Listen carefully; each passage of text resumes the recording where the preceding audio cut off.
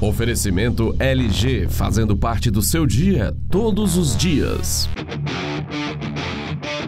A Microsoft parece estar desenvolvendo mais uma versão do Windows 10. Com o codinome Windows 10 Lean, ela deve ser mais leve e com menos recursos que a tradicional.